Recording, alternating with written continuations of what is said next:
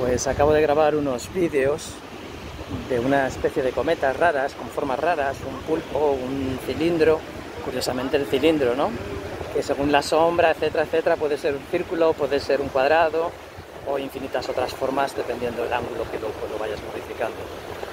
Y entonces esta gente que lo que lo estaba gestionando, lo tenían ahí volando y tal, les gustaría, digo, a lo mejor son unos zumbados de la vida que entienden lo que les voy a contar, que es hablar en seis dimensiones el mito de la caverna. Y no hablaban casi inglés y les he dicho, mira, tres dimensiones, dos dimensiones, la sombra. Ahí sí que lo han entendido eso. Digo, el comportamiento de la sombra y del... no tiene nada que ver. Es que lo he grabado y era lo que estaba definiendo, ¿no? Estaba diciendo, es que me cuesta seguir a la sombra, pero no me cuesta. Y a lo mejor la, la cometa no se estaba moviendo. El pulpo era un pulpo. Y entonces me costaba el pulpo sombra iba corriendo toda hostia porque por lo que sea ha cambiado un poco el ángulo, pero para mí a lo mejor ha cambiado hacia acá, en el ángulo Z en el que la cámara no lo ve.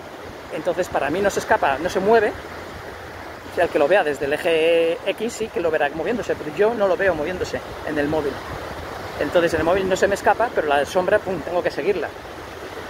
Eso es uno de los millones de comportamientos que suceden en diferentes dimensiones.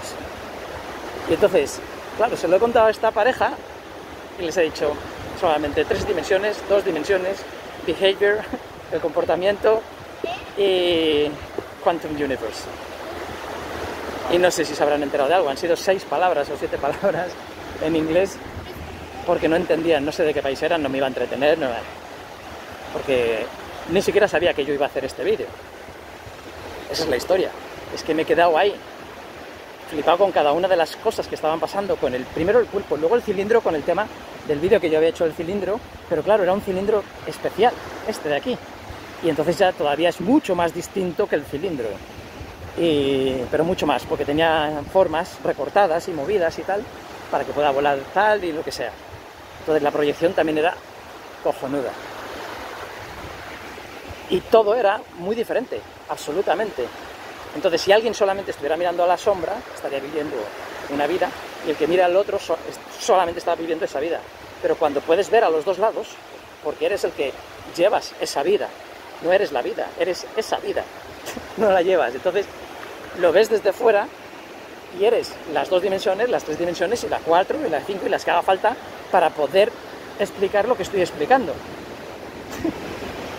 porque a mí esto me lo explica alguien ayer y a lo mejor no lo entiendo. A lo mejor.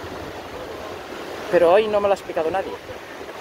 Hoy, a base de vivir la sombra y vivir el objeto tridimensional, convertirme en estar loco, he llegado a hacer de una manera muy fácil para mí